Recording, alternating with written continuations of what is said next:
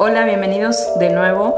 Eh, hoy vamos a hacer un review de este lente que es un Rokinon de 8 milímetros y es un Fish Eye.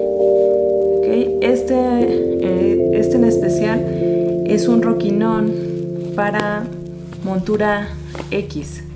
¿okay? Solamente es para cámaras Fujifilm y viene en un color negro.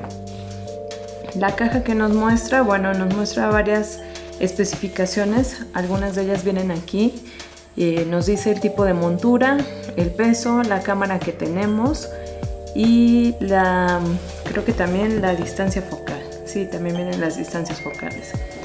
en la otra parte de la caja nos muestra una infografía de cómo están compuestas las lentillas que están al interior del lente.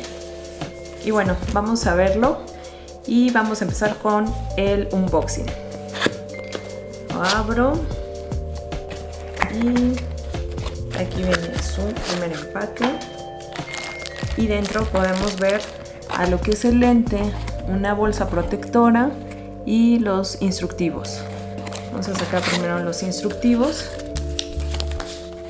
Este es el instructivo donde nos muestra eh, el parasol o como ustedes le quieran llamar, en este caso es uno de tulipán.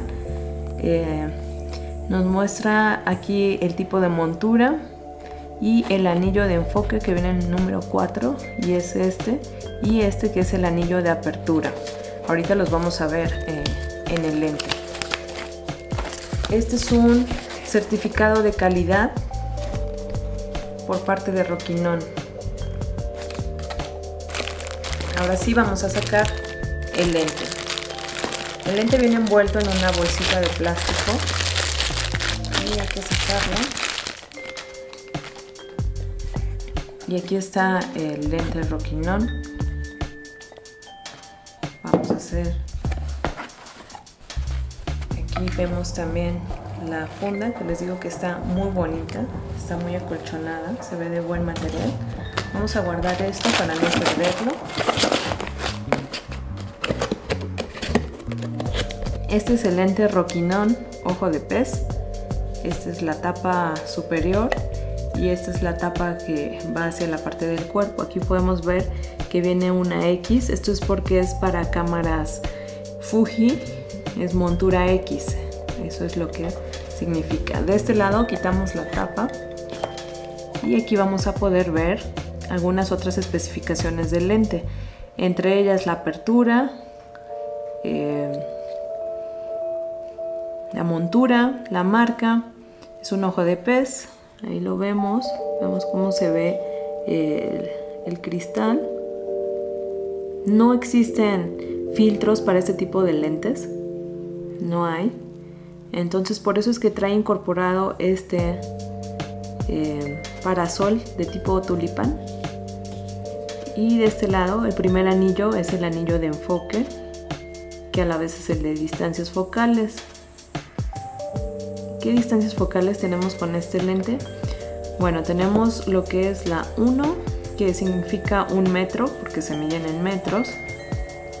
Tenemos 60 centímetros, 45 centímetros, 35 centímetros y 30 centímetros. También tenemos lo que es el enfoque infinito, como lo podemos ver ahí.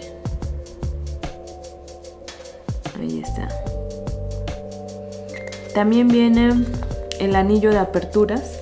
Este anillo de apertura a mí me encantó porque eh, se siente como hace el clic cuando estás con el lente conectado a la cámara